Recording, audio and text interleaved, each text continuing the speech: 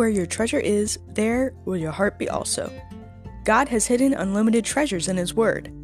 Every time we open it, we can discover a new treasure or admire an old one. What will we find today? Let's dig in. Here's Carla Early with Treasure Hunt in the Word. I can't help but feeling sorry for Naomi. She and her family moved to Moab to save them from famine in Israel. But then she loses them all. She had two sons to take care of her in her old age. They married loving, though foreign, wives, and her sons died, both of them. No wonder she returned to Bethlehem and insisted on being called Mara, which means bitter.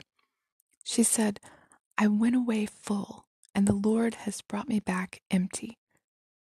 When she had left ten years before, she'd been full of hope for a better life in a new place.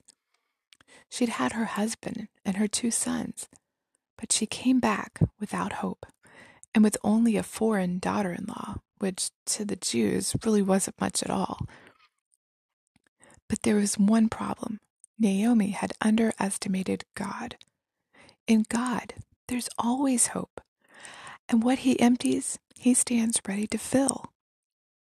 Sometimes He has to empty us, empty us of pride. That's often quite painful and embarrassing. But then He can fill us with humility one can't have both pride and humility. Or perhaps he needs to empty us of anger so he can fill us with joy. Maybe he has to drain us of impatience so he can fill us with patience. Or he needs to replace selfishness with generosity, resentment and grudges with forgiveness, fear with courage, greed with contentment. That's how God works to make us holy to make us more like Christ. Sometimes this happens little by little, and sometimes it comes with a crisis and complete emptiness, like it did with Naomi. But you can be sure He's not going to empty you and just leave you alone. Naomi arrived in Bethlehem poor and hopeless, empty. But by the end of the book of Ruth, she was full. Not only had she found family and a home with Ruth and Boaz and their son Obed, but she realized that God had not left her hopeless and alone. He'd always been with her the whole time, and he had provided Ruth, her loyal daughter in law, who loved her. And as the women of the village reminded her, Ruth had been more to her than seven sons.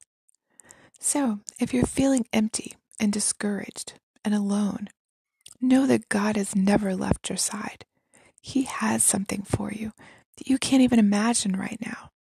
Try counting your blessings, and you may, like Naomi, realize you have more than you thought. You can contact us at treasurehuntintheword at gmail.com. You can listen to other episodes on our website, which you'll find in the description below.